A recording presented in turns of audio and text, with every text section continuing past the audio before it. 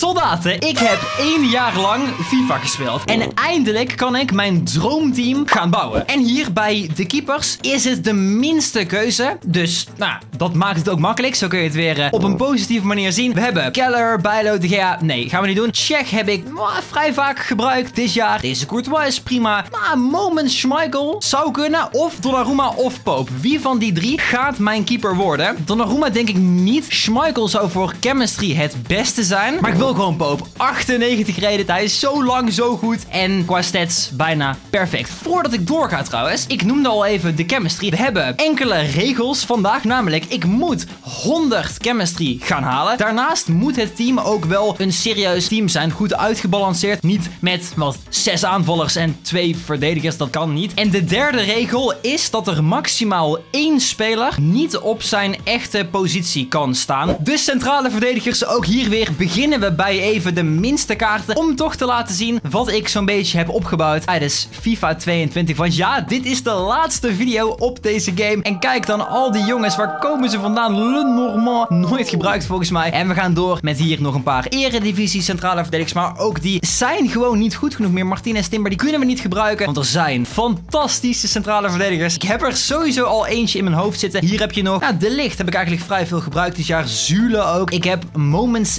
Desai. Dat zou kunnen. We gaan nog even door. Kijk, dit zijn echt de grote jongens. In mijn ooghoek zie ik Flashback Varaan staan. En nu zou ik waarschijnlijk hem hebben gepakt. Als er niet nog een betere versie van hem uit was gekomen. De 99 rated Premium 50s Varaan. Die wordt centerback 1. Maar kijk even hier. 779 wedstrijden met de andere Varaan. Dus sowieso een speler die een speciaal plekje heeft in mijn FIFA 22 hart. Als dat ergens opslaat. Dan heb ik ook nog... Nou, Moments Cannavaro is goed. Ik denk dat ik voor of Koulibaly wil gaan of Koundé. Ja, Rudiger is ook niet slecht. Maar zij hebben meer pace. En meer pace is vaak meer vreugde. Dus nou, ik ga Koundé doen. Gewoon omdat ik ook wel een beetje een team wil hebben met nou, meerdere competities. Alleen maar Premier League en een paar icons. Is ook niet leuk. Linksachter, dat zijn er eigenlijk niet heel erg veel. Roze Theo. Wat nog wel een soort van bijzonder was op dat moment. Maar we moeten omhoog, omhoog, omhoog. Want hier heb je wat roze kaarten en moments. Roberto Carlos. De duurste linksachter in de game. Wanneer ik het opneem. En dat zal ook niet meer gaan veranderen. Dus ik moet eigenlijk wel hem pakken. Ook die Alex Telles heeft wel goede stats. Maar hij kreeg geen upgrade, die kaart. Omdat Koundé met Barcelona won van Sevilla. En dus hij ging wel omhoog en Telles niet. Maar ja, Amavi is ook nog goed. Hij zou wel weer linken naar Varaan. Toch pak ik Roberto Carlos. Klaus heb ik moi, een beetje gebruikt. Alleen er is niemand die qua status als clublegende voor mij in de buurt komt van Want deze kaart heb ik 1046 keer gebruikt. Besef je hoeveel wedstrijden dat is? Voor mij mijn favoriete speler van het hele jaar. Niet eens qua kwaliteit, maar van hij was zo lang chill. En ik ben trouwens benieuwd wie jouw favoriete speler van FIFA 22 is of was. Dus laat me weten in de reacties hier beneden. En we hebben nog Frimpong, Moment Sambrotta. Eigenlijk, het gaat voor mij tussen Sambrotta, James en Valverde. Ja, kijk, ik heb nu Koundé rechts staan. Dan wordt het Valverde. Is dit slim nu? Ik denk het wel. Ik ben aan het nadenken en aan het bouwen tegelijk. Multitasken noemen we dat. De bank. Ik was de bank bijna vergeten. Deze verdedigers blijven over. En ik wil hiervan Koulibaly op de bank zetten. Ik ben aan het kijken. Alleen maar Etebo heb ik hiervan nog een beetje gebruikt. Pagina omhoog. Of Fofana. Deze kaart was echt geweldig. Ik denk dat hij mijn lievelings centrale middenvelder was van deze game. Hoeveel wedstrijden? 422. Ook Veron. Wow, wow, wow, wow, rustig uit. Veron was best wel een clublegende. Deze flashback Kante was misschien een beetje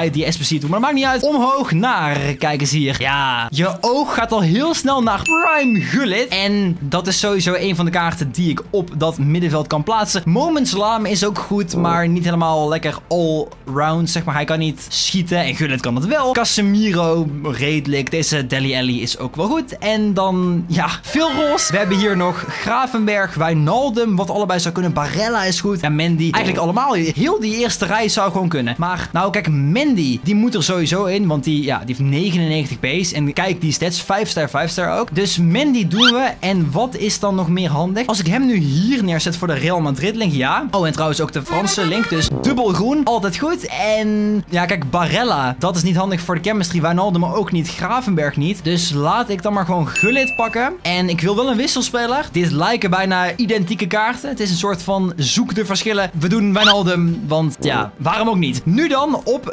nummer 10. Een paar Eredivisie Player of the Month. Wel leuk dat hij dus dit jaar er ook in zijn gekomen. En Kunku heeft heel veel special cards gehad. En hier, Daka was misschien wel mijn favoriete super sub. Fake hier, hoe kan ik deze video verder gaan zonder hem te benoemen? 557 wedstrijden, was echt heel erg goed. Bernardo Silva heb ik ook nog wel even gebruikt. Nog steeds zie ik hier niet een speler waarvan ik zeg dat ik daar iets aan heb. Komen we uit bij de allerhoogste pagina met, jawel, Moments Ronaldo.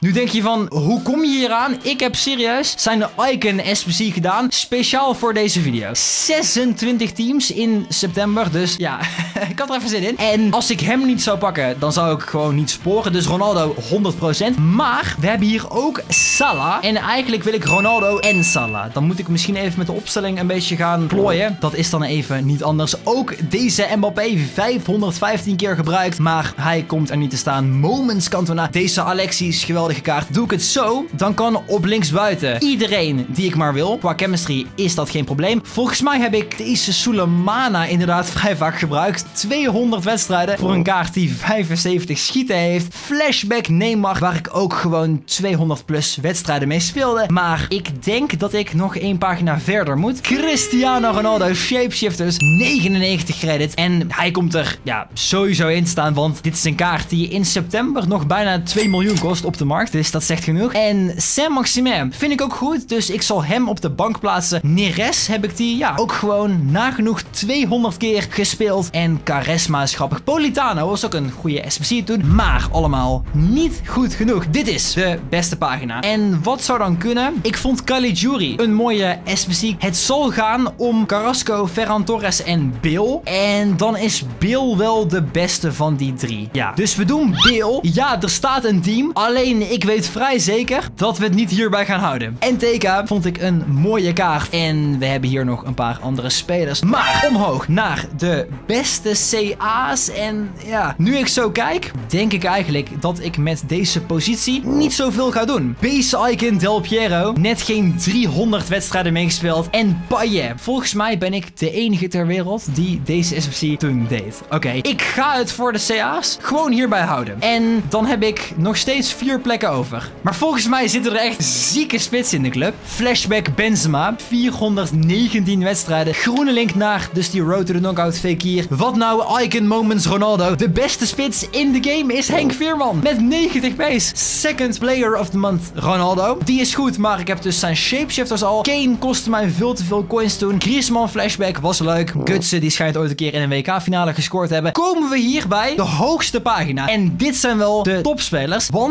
99 credit Lewandowski. 98 Neymar. Haaland is super hoog. Maar nee, team of the season Mbappé gepakt. We hebben Richarlison nog. Alvarez zou omhoog moeten gaan, maar dat is nog steeds niet gebeurd. Kijk, van deze spelers, Neymar, die moet eigenlijk gewoon in een team komen. Of ben ik nou gek? Ik denk dat Neymar beter is dan Bill. En dan, ja, zal ik wel even creatief moeten zijn qua opstelling. De andere spelers die hier staan, Lewandowski is goed, Mané en Mbappé, zouden allemaal jongens zijn waarvan ik zeg van ja, om hen in de basis te hebben is geen straf. Kan ik hier nu een opstelling van maken waar ik misschien een buitenspeler als spits ga zetten? Kijk, één speler mag dus off chemistry staan. Ronaldo, ja, hij zou dan de speler zijn die in de spits moet. Neymar spits, Ronaldo cam, Mendy, ja, zo staat hij gewoon toch? Oké, aanschouw mijn droomteam op FIFA 22. Als je mij alle Ronaldo kaarten wilt zien kopen, klik dan even hier. Houdoe hè.